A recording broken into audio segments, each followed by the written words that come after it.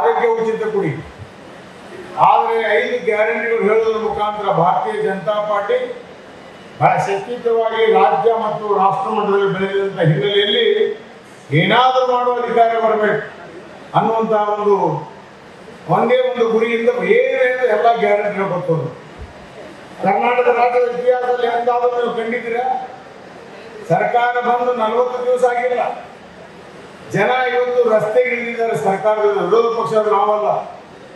ಜನ ಇವತ್ತು ಸರ್ಕಾರದ ಯಾವ ಮತದಾರರು ಸರ್ಕಾರಕ್ಕೆ ಓಟ್ ಹಾಕಿದ್ದಾರೆ, ಅವರಿವತ್ತು ಚೀಮಾನೆ ಹಾಕಿ ರಸ್ತೆ ಇಳಿದು ಹೋರಾಟ ಮಾಡ್ತಕ್ಕಂಥ ಪರಿಸ್ಥಿತಿ ಕರ್ನಾಟಕದ ಇತಿಹಾಸದಲ್ಲಿ ಮೊದಲನೇ ಬಾರಿಗೆ ಈ ಸರ್ಕಾರ ನೋಡ್ತಿದ್ದೀವಿ ಅಂತ ಮಾತನಾಡ್ತಾರೆ ಯಾವ ಘಳಿಗೆಯಲ್ಲಿ ಪುಣ್ಯಾತ್ಮ ಸಿದ್ದರಾಮಯ್ಯ ಮುಖ್ಯಮಂತ್ರಿ ಆಗ್ತಾನ?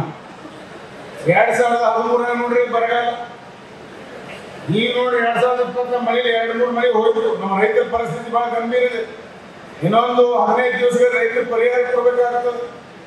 ಗ್ಯಾರಂಟಿ ಅಂತ ಇವರು ಕೊಡಕ್ಕೆ ಆಗೋದಿಲ್ಲ. ಸುಮ್ಮನೆ ಕಾಲ ಹಗರಣ ಮಾಡ್ತಾ ಇದ್ದಾರೆ ಸಮಯ ತಗೋತಾ ಇದ್ದಾರೆ ಜುಲೈನಲ್ಲಿ ಸುಮ್ಮನೆ ಕೇಂದ್ರ ಸರ್ಕಾರದ ಮೇಲೆ ಕೂಬೆ ಕೂಡಿಸ್ತಾ ಇದ್ದಾರೆ ಅವರ ಚುನಾವಣೆಯನ್ನು ಪ್ರಚಾರ ಮಾಡ್ತಕ್ಕಂಥ ಸಂದರ್ಭದಲ್ಲಿ ಎಲ್ಲಾದ್ರೂ ಹೇಳಿದ್ದಾರೆ ಐದು ಐದು ಕೆಜಿ ಅಕ್ಕಿ ಕೇಂದ್ರ ಸರ್ಕಾರ ಇರ್ತದೆ ಐದು ಕೆಜಿ ನಾವು ಸೇರಿಸಿ ಹತ್ತು ಕೆಜಿ ಕೊಡ್ತೇವೆ ಎಲ್ಲಿ ಹೇಳಿಲ್ಲ ನಮ್ಮ ಸರ್ಕಾರ ಅಧಿಕಾರಿ ಬಂದ್ರೆ ಹತ್ತು ಕೆಜಿ ಅಕ್ಕಿ ಕೊಡ್ತೇವೆ. ಇನ್ನೂರು ಯೂನಿಟ್ ಫ್ರೀ ಯಾವ ರೀತಿ ಸಿದ್ದರಾಮಯ್ಯ ಭಾಷಣದಲ್ಲಿ, ನನಗೂ ಫ್ರೀ ನನ್ನ ಹೆಂಡತಿಗೂ ಫ್ರೀ ದಯಾನಂದ ನಿನಗೂ ಫ್ರೀ ವೇದಿಕೆ ಇರ್ತಕ್ಕಂಥ ಎಲ್ಲರಿಗೂ ಫ್ರೀ ಅಂತ ಹೇಳ್ತಾರೆ. ಏನಂತ ಹೇಳ್ತು ಇವತ್ತು ಕಂಡೀಷನ್ ಹಾಕ್ತಾ ಇದ್ದೀರಿ ಓಟ್ಗೆ ಓಟ್ಗೋಸ್ಕರ ಏನಾದ್ರು ಮಾತಾಡ್ತೀರಾ?